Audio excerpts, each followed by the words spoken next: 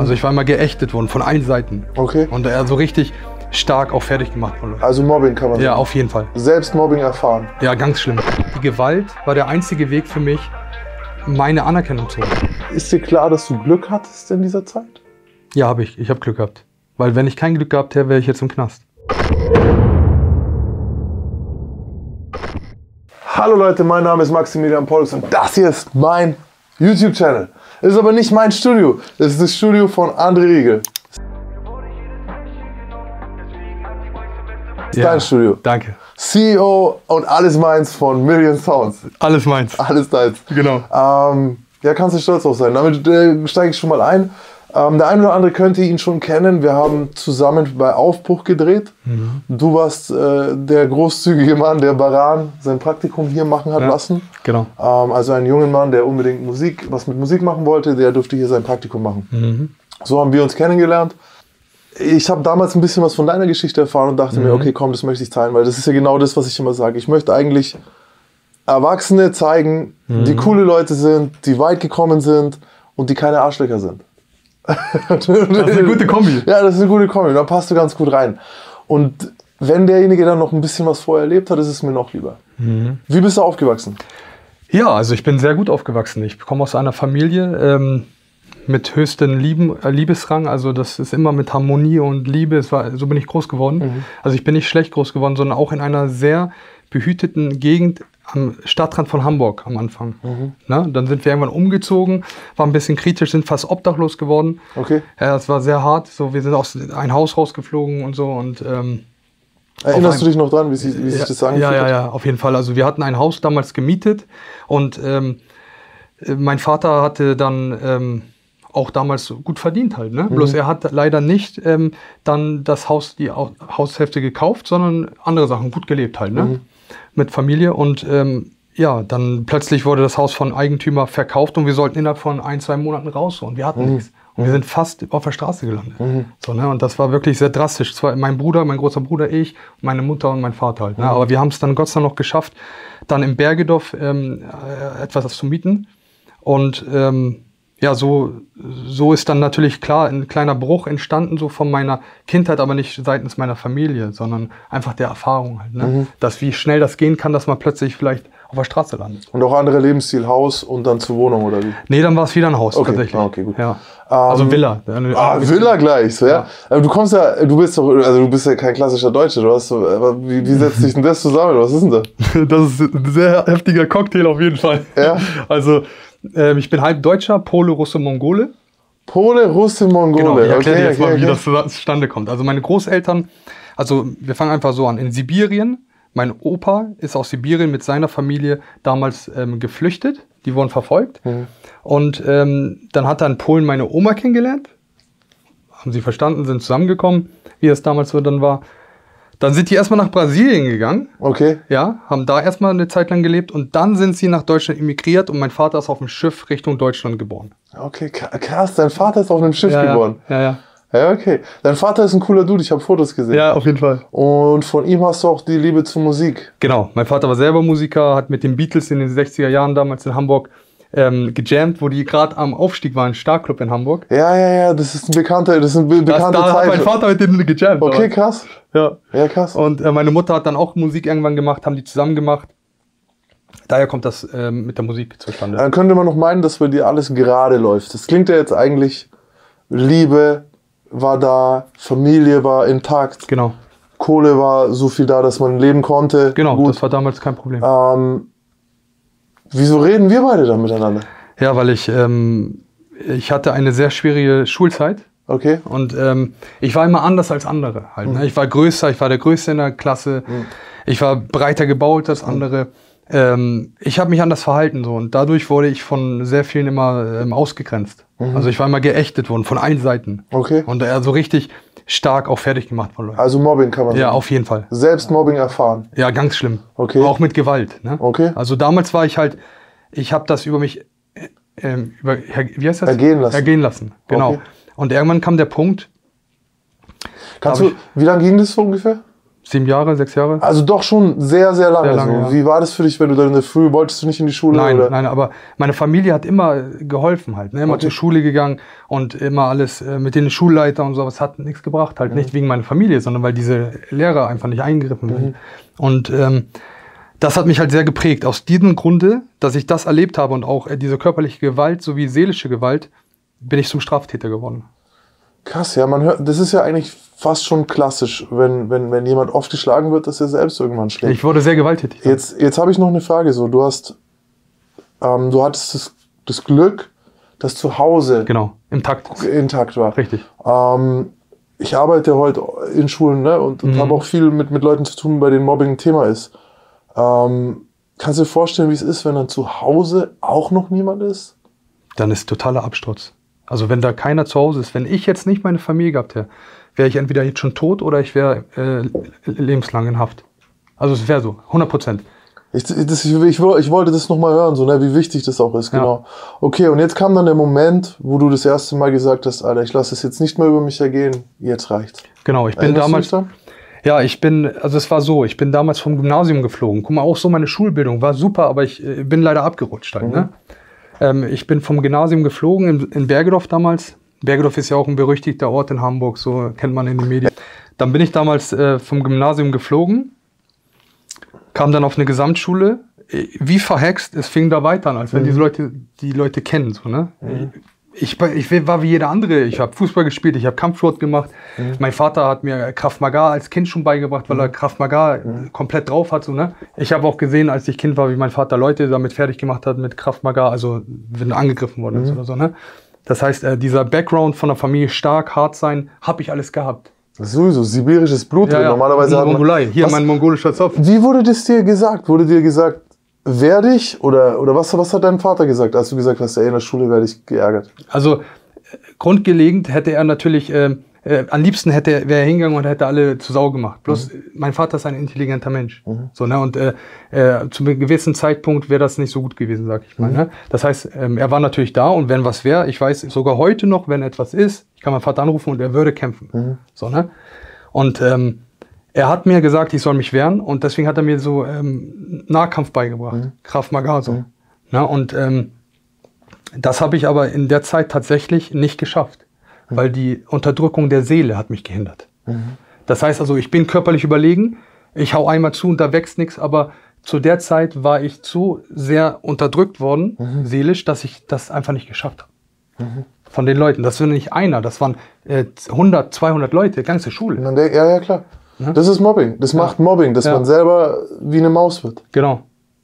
Ne? Und deswegen, obwohl ich das locker machen konnte, da wurde ich noch, äh, wurde noch von mir damals äh, Geld erpresst und sowas. So, ne? Und ähm, das äh, ging auch richtig zur Sache damals halt, ne?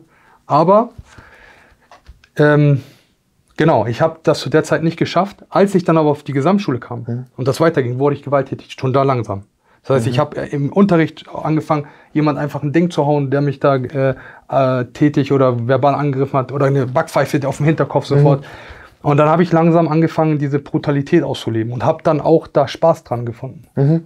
Also ist es schon so, erinnerst du dich noch den Unterschied in der Wahrnehmung? So, erst ist es am einen Tag bist du noch der, der gemobbt wird und am nächsten Tag ist, hat man Angst so ein bisschen vor dir, oder? Genau, es, das hat sich einfach gedreht so. Durch jede äh, Straftat oder Gewalttat, die ich verübt habe, äh, wurde immer mehr Respekt auf der Straße natürlich äh, gezeigt. So. Natürlich ist es der falsche Respekt, das weiß ich heute auch. Es ist, ist glaube ich, nicht mal Respekt, das ist Angst. Oder Angst, das ist die Angst, die dann mitspielt. Ne? Es gibt immer krassere Leute. Ich war ja nicht der krasseste, aber es gibt genug Leute, die dann diese Angst hatten, ne? die mir dann natürlich Selbstbestätigung gegeben hat.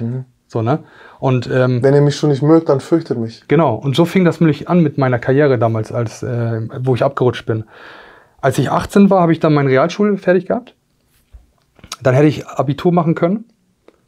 Hab's aber nicht gemacht. Ich war sogar angemeldet. So, meine Eltern haben sich dafür eingesetzt, dass ich unbedingt noch das machen kann, wenn ich will. Die sind zur Schule gegangen. Mein Durchschnitt war nicht gut. Die haben sich eingesetzt. Aber ich habe einfach es nicht mehr gemacht. Da habe ich eine Grafikausbildung angefangen, auch abgebrochen. Und dann ging's los. Dann bin ich zu meiner alten Schule zum Gymnasium gegangen mit einem alten Kumpel damals. Ich muss dazu sagen, ich fing dann ab 18 an, so in Bergedorfer Bahnhofsviertel rumzuhängen. Das war auch ein sehr, sehr krummes Ding damals. Also ganz viele Schwerverbrecher und ganz viele krasse Leute habe ich da kennengelernt. Und ähm, dann war ich, war ich irgendwann mit sehr viel Romas, also mit den äh, Roma-Gypsies, Mhm. ne? Mit dem bin ich eigentlich groß geworden, mit den Zigeunern so, ne? Und komischerweise heute ist meine Frau auch eine Gypsy. Ja, so, sie, siehst du? Das ist krass, ne? Ja. So, Bist du akzeptiert? wie bitte? Bist du akzeptiert in der Familie? Ähm, nein. Ja. Nee, da, da haben wir gebrochen, so, ne? Ähm, auf jeden Fall ähm, muss ich jetzt dazu sagen, dass der Moment war, ich kann mich noch erinnern, ich bin zum Gymnasium gefahren morgens mit einem alten Kumpel. Mhm. Einer meiner ersten Freunde, weil ich hatte auch keine Freunde, ne? ist ja klar. Natürlich du, nicht, Ich, ich war ganz alleine auf Genau. ne? Ich hatte keine Freunde und äh, musste jeden Tag mich zwingen, in die Schule zu gehen. So, ne? Und diese Blicke sind schlimmer als Schläge. Und diese Worte. Mhm. Wenn die Leute dich fertig machen und auch von allen Seiten so, Mhm. äh, da kannst du, dann lieber lass dir eine einfangen, hast du kurz Schmerzen, aber der seelische Schmerz, der ist ja heute noch da. Mhm. Der geht auch nicht raus. So, ne? Und ähm, dann habe ich einen gesehen, der mich immer so fertig gemacht hat. Er hat aber er wollte gerade reden und was mache ich? Ich hau ihm gleich, den, also gleich die Antwort. So, ne? Das erste Mal vor Gericht gewesen halt. Ne? So fing es an. Okay, du bist in die Schule gefahren, hast einen von deinen alten Peinigern verprügelt. Ja, genau. Aber richtig, also so eine richtige Latte gezogen, ne? Ja, und dann war ich auf einmal, ja, das erste Mal vom Richter halt, ne?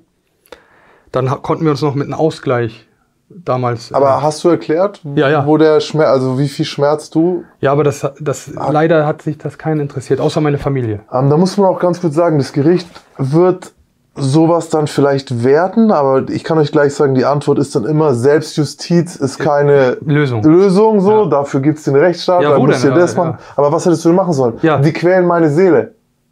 So, okay, das ist keine Straftat. Ja, ist- So. Ähm, wir haben das Problem, dass Mobbing sich äh, aus diesen einzelnen Straftaten zusammensetzt. Beleidigung, Bedrohung, Körperverletzung, aber nicht dieses ganz, dieser ganze Komplex, Mhm. dass man den benennen würde. Ähm, das wäre vielleicht nochmal eine Idee in Zukunft, wie man mit sowas umgeht. Es wird ja immer schlimmer. Zu deiner Zeit gab es ja äh, Social Media jetzt noch nicht so Nicht so, Kind. nein, nein. Das ist nämlich noch das nächste. Mhm. Wenn du, ich sehe gerade schon, ich werde versuchen, dich mal äh, zu engagieren in einer Anti-Mobbing-Kampagne oder so, weil es Gerne. ist ja wirklich, stell dir vor, die Kids, die, manche haben dann kein Zuhause, manche haben, und jetzt gibt's noch dieses äh, Social-Media-Gehate. Mhm. So, du machst dein Handy an und da machen sie dann genau so weiter, wie sie es in der Schule machen. Ganz genau. Wie hat sich's angefühlt, obwohl du ja eigentlich gerecht zugeschlagen hast, könnte man sagen, wenn man, wenn es das überhaupt gibt. Ja, ja. Wie hat es angefühlt, dass der. Staat dich, Also das nicht, ja, dass der Staat mich fallen gelassen hat, scheiße. ja, Aber dass ich das getan habe, das Ja. war gut. das hat sich gut für dich Ja. angefühlt im Moment, Ja. okay? Und wie ging's weiter? Ja, dann äh, fing es an, dass ich halt, ähm, ja, wie gesagt, ab 18 ging es los, der Alkoholkonsum fing an. Ich hatte sehr Mhm. Ja, viel. gut, da hat er, jetzt will es nicht zu plakativ sein, aber der Mann, ja, halt, der hat wirklich gute Gene, um Alkohol zu trinken. So? Russenleber, ne? Russe, Pole, ich weiß Deutsch, nicht, wie, wie sind, die Deutschen sind nicht schlecht dabei, so, äh, wie sind die Mongolen? Auch weißt du Alkohol. das? Auch, okay, ja gut, dann, mein Gott, ja, okay, Mhm. also kam Alkohol. Dann kam auch wirklich tatsächlich Wodka. Also das ist Mhm. kein Spaß, und jetzt nicht nur zur Imageplakatierung, das ist die Wahrheit. Es kam Wodka Wodka, mit okay. Eistee, typisch Russian Style. Okay. Und äh, ja, dann fing das an. Ich habe mit den Gypsies immer gechillt. Das wurden meine Freunde. Bis Mhm. heute habe ich noch mein bester Freund, ähm, Iset ähm, Caferno, kennen auch viele. Ähm, der ist ähm, auch Roma, Mhm. ne? mein bester Freund. Und ähm, die Freundschaft ist bis heute geblieben Mhm. halt. Ne? Und äh, klar, damals haben wir Scheiße gebaut, heute geht jeder seinen normalen Weg. Mhm. Halt, ne? Und das ging so weiter, dass ich dann viel und auf den Straßen unterwegs war. Äh, viele Straftaten, ich will nicht alle nennen oder kann nicht alle nennen, Mhm. aber es waren auf jeden Fall sehr viele unangenehme Straftaten. Bisschen was, äh, wir wollen ja, also wir wollen auf keinen Fall, dass du irgendwie was erzählst, was jetzt keiner weiß, aber vielleicht so ein bisschen, wie kann ich es mir vorstellen? Also warst du eher der, der, der jetzt Drogen gedealt hat oder Nein, warst das du jetzt eher, eher, eher nicht, sondern eher der, der hingehauen hat halt? Ja, und noch andere Sachen, ja. Was denn? Okay, also so richtig will er nicht drüber reden. Ähm, Aber gewalttätig, ja, also Gewalttaten und auch Gewalttaten, Taten, Gewalttaten mit Überfall, ja. Sowas, ja. Aber noch andere Sachen, bloß die kann ich nicht sagen. aber wenn wir jetzt zum überlegt, so ein klassischer Tag, du gehst raus, du, äh, sagen wir mal Wochenende, Mhm. du, du trinkst, Genau, mit meinen Jungs, wir haben trinkst mit den getrunken. Jungs. Dann, äh, wir alle sind, äh, schon damals habe ich ja mit Hip-Hop angefangen. Ich mache ja auch Rap, ne? Musik. Mhm. Okay. Andrejovic, mein Künstler, ne? Damals hatte ich andere Pseudonyme, aber heute ist es Andrejovic, so wie mich meine Eltern seit klein auf an nennen. Mhm. So bin ich zu den Wurzeln zurück. Ich muss Andrejovic heißen. Das ist in Russisch so äh, kleiner Kleiner André. André. So auf den. Ja. Und ähm, ja, so kam es dann, dass ich äh, mit den Jungs gerappt habe. Wir waren Mhm. auf der Straße, Bahnhof oder auch viel in St. Pauli unterwegs, haben da gerappt und getrunken. Und jeder, der schräg kam oder ähm, wenn es uns was nicht gepasst hat, dann haben wir halt eingegriffen halt, ne? Und dann fliegen Fäuste halt, ne? Und ähm, das war damals ein, äh, damals war das ein geiles Gefühl. Heute denke ich mir, scheiße, was habe ich da gemacht? Da sammelst du aber auch Anzeigen. Ja, auf jeden Fall. Ich habe äh, einen guten Ordner voll Okay. Und viele Sachen, Gerichtsverhandlungen. Ähm, ich, bin, äh, ich bin Gott sei Dank immer Haftstrafen ausweichen können, weil ich ähm, bei einigen Sachen einfach nicht erwischt worden bin. Und bei denen, denen, wo ich erwischt worden bin, äh, konnte ich gut argumentieren. Und äh, die Richter oder die Staatsanwälte haben gesagt, ja, wir sind uns sicher, sie sind der Täter, aber wir haben keine Beweise. Okay. Also das hat mir meinen Arsch gerettet. Hast du jemals nach einem nach einer Schlägerei, nachdem du jemanden verletzt hast, das Gefühl, ge- also hast du dich jemals daran erinnert, wie es war, geschlagen zu werden? In dem Moment gar nicht. Okay. Ich habe daran gar nicht gedacht. Ich habe einfach die Macht ausgeübt. Mhm. Auf einmal so da drüber stehen. Nicht mehr da unten, sondern genau andersrum. Jetzt bin ich der, der sich das nicht gefallen lässt. Ich hatte auch ganz schlimme Schlägereien, wo ich ähm, jemand so hochgenommen habe, weil ich sehr stark bin und vors Auto geworfen und sowas. Ne? Äh, St. Pauli war das zum Beispiel. Ich habe jemand äh, fast die ganze. Ilya Pascha, vielleicht kennt jemand den auch noch von früher, den Rapper, ist ein bekannter Rapper. Da habe ich ähm, jemand genommen irgendwie und wollte den irgendwie die Treppen runterschmeißen. Ich weiß nicht mehr genau. Und er hat gesagt, hey, lass das. Und so haben wir uns kennengelernt und wurden auch dann Kumpels so halt. Ne? Der hat also sozusagen mir auch da geholfen, dass ich nicht noch schlimmer werde halt, ne? In den, an diesen Abend, sag ich mal, ne? Und ähm, ja, es, es war, ich kann nur sagen, die Gewalt war der einzige Weg für mich, meine Anerkennung zu holen.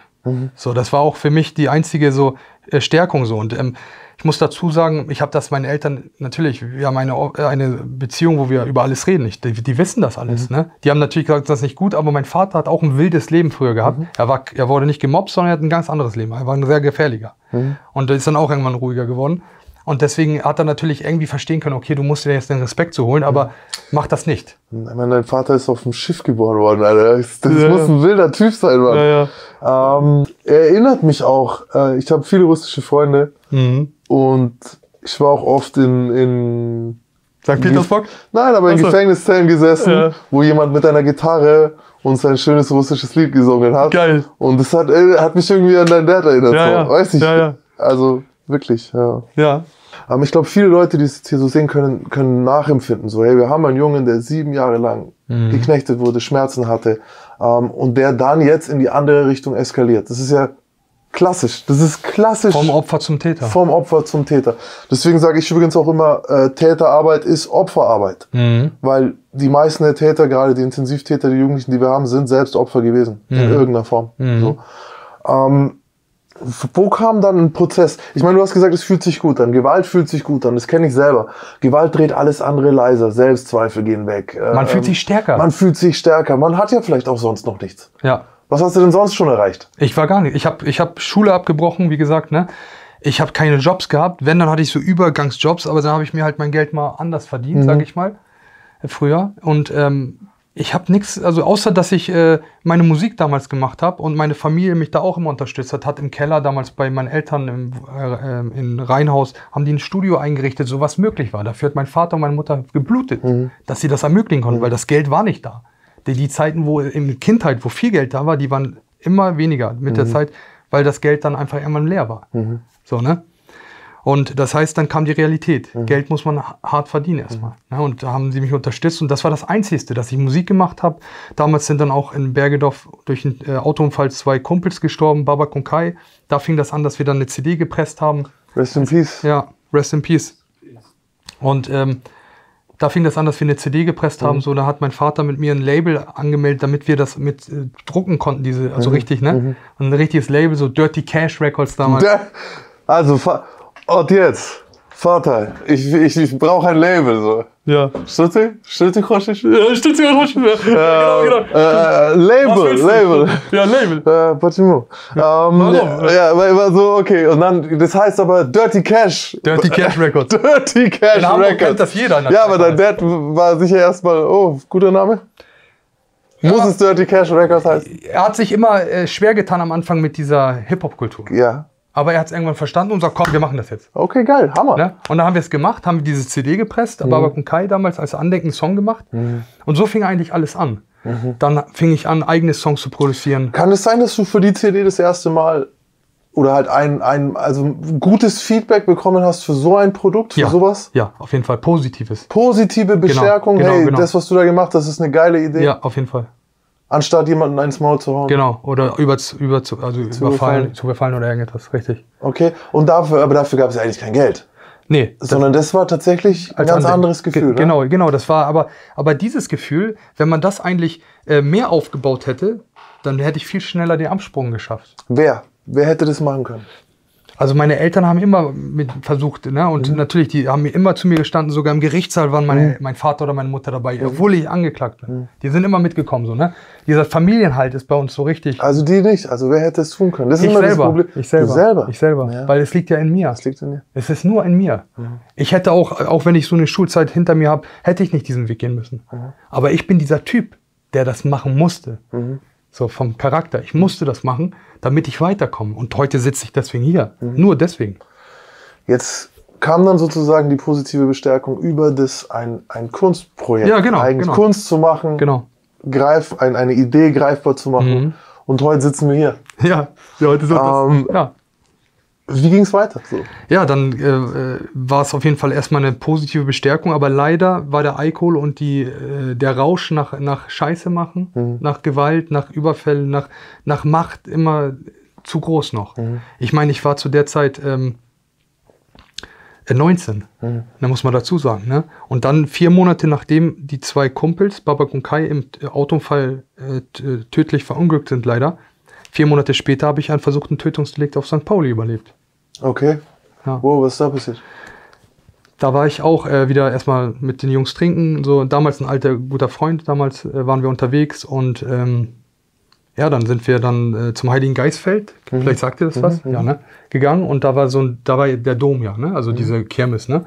Der war aber schon zu und ich und er, wir, ähm, Was ist denn da, wenn nicht der Dom ist? äh, da ist gar nichts. Ah, das ist gar Nur nichts. wie Okay, äh, okay. Parkplatz. Ah, okay, okay. So auf den, ne? Und wir hatten auch leider wieder böse Pläne, ich und er damals. Und ähm, äh, es ist dann zu solchen Straftaten nicht ganz gekommen. Aber eigentlich jemand abziehen zum Beispiel. Zum Beispiel sowas halt, ne? So Scheiße bauen. Naja, dann sind wir übers, Dom, übers Domgelände gegangen und dann war da so ein Mädchen aus Bergedorf. Ich konnte mich damals an sie, glaube ich, nicht erinnern, aber sie meinte so, ey André, ich brauche deine Hilfe und sowas. Und ich damals wild und so, ja, was los und so, ne? Sie wurde irgendwie belästigt von mehreren Männern. Und ich habe dann so, ich war ja auch angetrunken, ja, verpisst euch wahrscheinlich. Und ähm, ja, dadurch ist es dann äh, verbal zur Eskalation gekommen, aber dann ging das von einem Moment auf den anderen. Auf einmal kam von allen Seiten Leuten aus Ecken und äh, Autos angefahren mit Eisenstangen. Okay. Und dann war ich umzingelt. Mein Kollege ist weggelaufen, hat es geschafft zur Flucht, hat dann ähm, der Polizei, hat die Polizei angerufen. Und ähm, aber ich bin da nicht sauer. Ich sage auch warum. Das war, es ist eigentlich ein tödlicher Ausgang, was passiert ist. Ich hatte nur Schutzengel. Wenn du gleich weißt, was mir passiert ist, dann weißt du das. Das überlebt man nicht. Und dass er weggelaufen ist, er war nicht so breit, so er wäre wahrscheinlich. Ja, vielleicht zu zweit, man, man rennt halt, man kriegt ja auch erstmal vielleicht nicht mit, dass der andere noch. Ja, genau. Und deswegen, also ich, ich habe das, ich bin da nicht sauer drüber, ne? Ähm, es ist nun mal so, ne? Ich meine, man hat ja auch Angst um sein eigenes Leben. Ne? Und auf jeden Fall haben die mich umsingelt alle. Und das waren so, das war so gemischt. Das waren viele rechte Leute, aber auch irgendwelche ähm, anderen Leute, auch Ausländer, gemischt. Also passt gar nicht. Aber mehr rechts, würde ich sagen. Die haben auch, die haben auch, damals habe ich Glatze getragen, noch typisch russisch Style, haben mit gleich gebläht und sowas. Jetzt hast du was, das hast du davon oder sowas. Haben dich, mich da beleidigt und die haben mich halt mit Eisenstangen äh, mit 25 bis 30 Personen, Personen steht auch, äh, war auch in der äh, Dokumentation der Polizei, haben die mich halt komplett misshandelt. So. Also die haben sich auf meine Arme gestellt, mit, auf dem Hinterschädel. Hier habe ich auch Beulen, wenn man das noch sehen kann, überall. Ähm, und ähm, haben mir mein ganz fürs Vordergesicht, ich habe auch ein Bild, kann ich dir gerne zeigen, wenn du willst. Also ganz schlimm, komplett vorne war alles zerdrescht. Die Nase war hier so raus und hier so hoch. So, ne, Jochtbein gebrochen, Arm zerschmettert, hier äh, ganze Seite voller Verletzungen. So. Also normalerweise überlebt man das nicht. So. Ne, das war wirklich einfach nur ein Schutzengel. Ich neun Monate krankgeschrieben. Und genau auf dem Domplatz. Ja, ja. Krass, Und keine, da waren auch Leute, die haben aber nicht eingeschaltet. So, ne? Und die Polizei hat 10, 15 Minuten gebraucht, obwohl daneben die Polizei da war. laufe ich in der Zeit laufen, können sie laufen. Ja, haben sie, ne, und ich habe da um mein Leben gekämpft. Mhm. Dann habe ich geschafft, aufzustehen wieder. Und die haben wie K- Katz und Maus Spiel. Ich sehe, da liegt mein MP3-Player, weißt du noch damals, die, Ja, ja, ja, die langen Dinger. Ich greife den so. Ich war unter Adrenalin, alles war kaputt, aber ich konnte mich bewegen. Ne?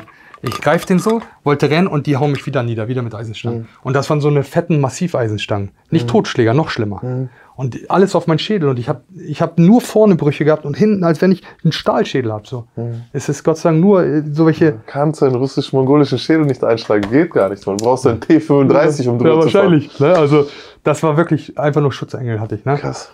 Ja, mein verstorbener Onkel war sicherlich das, der für mich da war. Meine Oma, dann Babak und Kai, das waren bestimmt viele, die darauf aufgepasst haben, so dass mir dann zwar schlimm ist, aber nicht das Endgültige passiert. Mhm. Und ich hatte halt diesen Moment, scheiße, ich sterbe jetzt. Mhm. Meine arme Familie, die genau diesen Gedanken weiß ich noch im Kopf.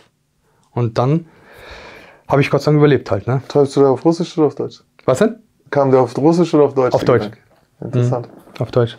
Okay. Und ähm, ja, so kam das halt. Ne? Und tatsächlich muss ich dazu sagen, ich war dann neun Monate krankgeschrieben so. Ich habe leider danach mein Leben nicht verändert. Das mhm. war noch nicht der Moment. Okay. Der Moment war leider noch nicht richtig. Okay. Okay. Ja, kann ich. Äh, es ist immer. Die Leute wünschen sich immer, dass das der Moment ist, wo man aufwacht. Aber man, man, erstmal musst du dich jetzt wieder bestätigen. Weißt du, was das Schlimme ist? Danach ja? bin ich noch brutaler geworden. Ja, weil jetzt musst du dich erstmal wieder bestätigen. Ja, ich habe Leute, so, ich ja. konnte gut Kampfsport und in der Luft treten. Das mhm. kann ich jetzt nicht mehr so gut in der mhm. Bandscheibenvorfall und so. Mhm. Diesen ja, kennst du den? Mhm. Den in der Luft so? Mhm. Na, da habe ich Leute gegen Schädel und die sind umgefallen mhm. in der Luft so, ne? Und äh, habe mit, mit, beim Rennen mit fliegender Faust Puh, Leute wie Dominosteine weggehauen. So, ne? Und es hat mich noch brutaler gemacht. Mhm. Obwohl ich vom Krankenhaus, haben die mir sogar eine Seelensorge gegeben, ich habe das nicht abverneint. Mhm. Ich war offen dafür. Die Kirche hat mir da geholfen so. Mhm. War ich nicht dagegen, aber es hat mich nicht verändert. Mhm. Dieser Vorfall hat mich nicht verändert, sondern schlimmer gemacht. Okay. Und wo, wo, wo kam der Moment, wo du gesagt hast, okay, oder wo du gespürt hast, ey, ich muss irgendwas ändern? Als ich 24 war, ist irgendwie da, ich habe über die ganzen Jahre viel Alkohol, viel Party, viel Gewalt, äh, viel Scheiße gebaut. Mhm. Und ähm, irgendwie kam dann ein Moment, als wenn sich diese Bilder reflektieren. Mhm. Und auf einmal habe ich wieder mehr auch zu, zu Gott oder Jesus gefunden mhm. in dem Moment. Mhm. So, ne?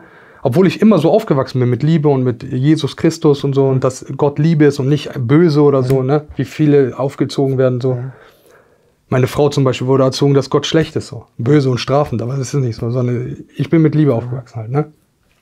Und ähm, da bin ich irgendwie mir wieder näher zu der Verbindung zu Gott gekommen und ich habe mein Leben total, also um 380 Grad verändert. Okay. Ich habe Schule nachgeholt, habe studiert. Mhm. Ich habe äh, mehrere ähm, Diplome gemacht im Musikgesch mhm. äh, Musikbusiness es waren, glaube ich, die Anhäufung, dass ich immer mehr ja, schlechtes ja. Gewissen bekomme. Ah, ja, ja, okay. Weißt du, dass, du musst dir voll, ein Fass ist irgendwann voll. Ja. Und egal wie du dich totstellst und Empathie weglässt, ja. irgendwann platzt es. Das war. Und dann kommt die Reflexion. Und Nicht dann, bei jedem. Das stimmt. Aber irgendwann vielleicht ja. Ich glaube, an der Stelle können wir nochmal deinen Eltern ganz dickes Dank aussprechen, ja. weil all die Jahre, mit denen ich jetzt mit Kids arbeite, es ist leichter, für Kids, die geliebt wurden, mhm. zurückzukommen. Richtig. Weil man sich erinnert, ja, vielleicht ist es mir schlecht ergangen, aber ich weiß, irgendwo kann es gut sein. Genau, und ich habe ja auch in der ganzen Zeit immer Liebe bekommen. Ja, ja, eben, genau, du hast auch immer Liebe bekommen. Ähm, aber ich weiß auch für alle anderen, ich weiß auch, es ist möglich, wenn ihr nicht geliebt wurdet. Es ist möglich, aber es ist schwieriger. Deswegen vielen Dank an deinen Dad und ja, so, ne, dass er das getan hat. Ja. Ja, und jetzt hast du aber es war ja, war ja nicht leicht. Jetzt hast du das alles aufgebaut. Es gab Rückschläge. Ich, ich habe ja, ich habe bei Null angefangen. Mhm. So, ne? ich, äh, ich war auch ins Hartz-IV-System abgerutscht. So, ne? mhm. ne? Also ich war ganz unten. So, mhm. ne? Und habe ein dann irgendwann, wo ich mich verändert habe, wollte ich dann in der Musikbranche arbeiten. Aber ich war zu hoch qualifiziert und dann hat mich jeder Konzern, jedes Label, jedes große immer abgelehnt. Nein, du mhm. bist so hoch qualifiziert. Dann fängt dein Grundgehalt Wegen der Tontechnik, also ja, weil du wollten dir nicht so viel zahlen. Genau. Okay. Und ich habe nicht unter meinen Wert arbeiten wollen. Oh, ja, auch richtig. Ne? Okay. Und dann habe ich halt wieder erstmal nur hier und da Jobs gemacht und immer nur banale Scheiße. Mhm. So, und dann war ich irgendwann Manager bei einem großen Telekommunikationskonzern über Kontakte reingerutscht. Mhm. Hat auch nicht funktioniert halt. Ne? Wurde ich dann irgendwann gekündigt, weil ich einen Autounfall auf der ähm, Arbeitsstrecke nach Bremen hatte und die äh, kündigen mich dann, weil ich krankgeschrieben war. Mhm. so, ne? Undankbar halt. Ne? Ja, aber sollte vielleicht auch nicht sein. Ganz genau. Deswegen sitze ich hier. Denn dann rutschte ich wieder ins Hartz-IV-Dings. Zeitweise muss ich dazu sagen, war ich auch äh, in der Sicherheit, Security, ne, auch mhm. in verschiedenen Orten, Diskothek seltener, aber mehr so bei Spielotheken und sowas. Mhm. St. Pauli war ich viel auch, ne, mhm. bei äh, Spielotheken und sowas halt, ne, oder bei beim äh, Vision Song Contest und sowas. Mhm. Ne, habe ich da Sicherheit gemacht. Aber das ist auch nichts auf Dauer so. so aber du hast, es gemacht, du, hast, du hast versucht, überall was zu machen, genau, legales genau, Geld, Geld, zu verdienen. Genau, ich wollte legal ja. Geld verdienen.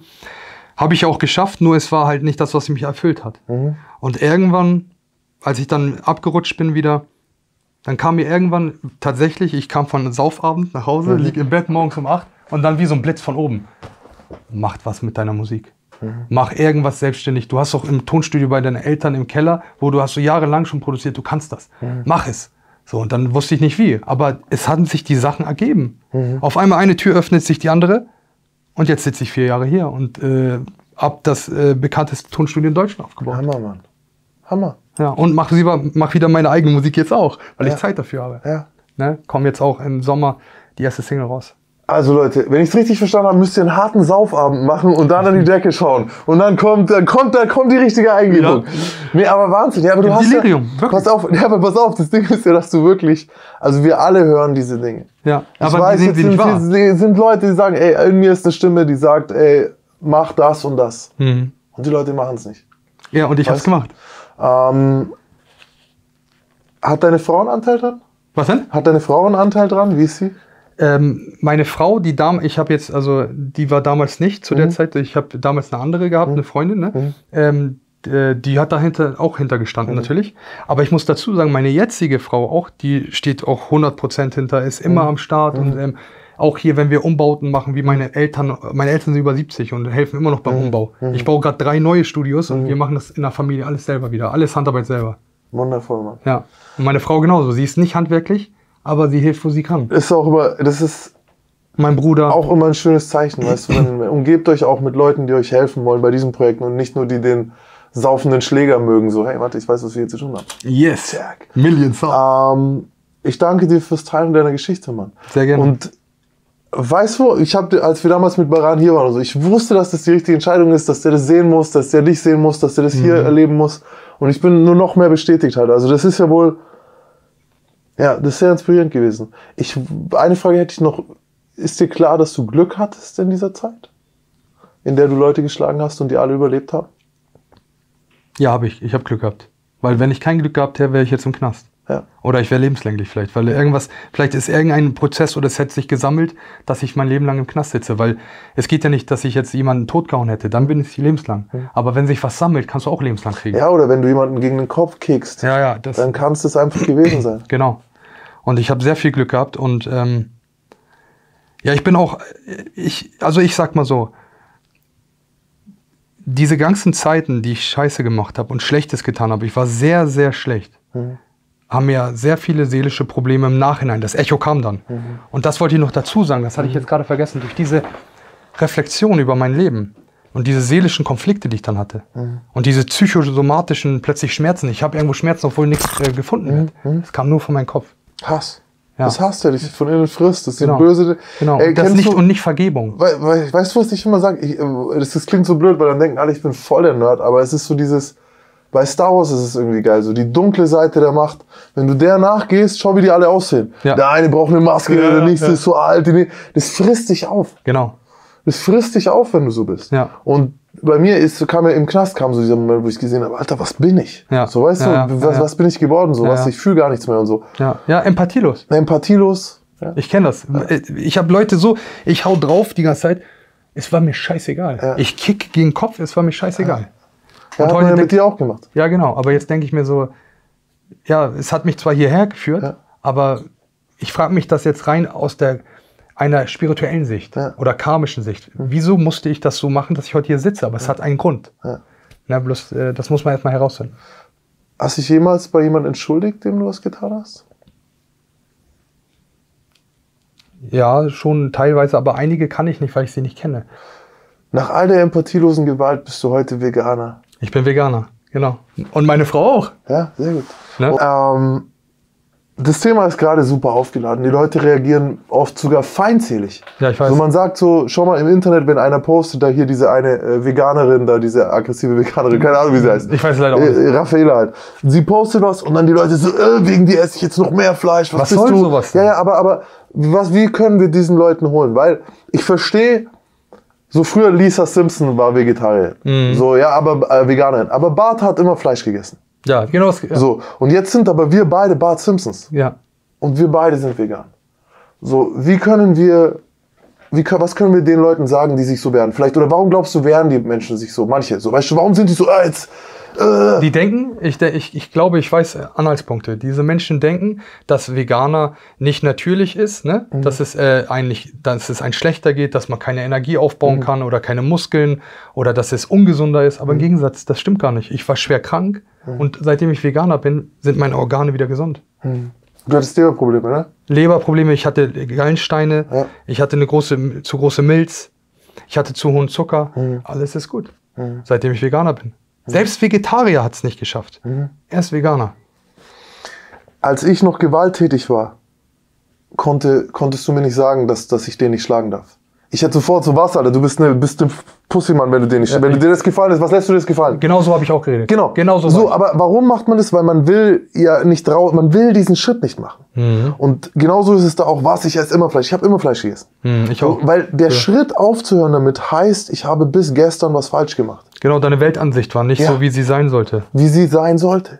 Also es ist für mich ein Fehler gewesen. Und das wusste ich damals schon. Ich war beim Schlachten dabei. Ich habe es dir erzählt. Ich habe gesehen, Mhm. Ja, wie ja, ein, ein Bulle, ein Riesentier, Mann, 700, 800 Kilo, wie er weint. Der Arme. wie er vor dem Schlachten, er läuft so rein, er schaut so und ich sehe die Tränen laufen diesem Tier runter. Ich habe den davor nie weinen sehen. Also der wusste, was passiert. Natürlich. Und, und danach habe ich gesagt, ja, gib mir Hank-Salami. Mm, gib mir die Salami so.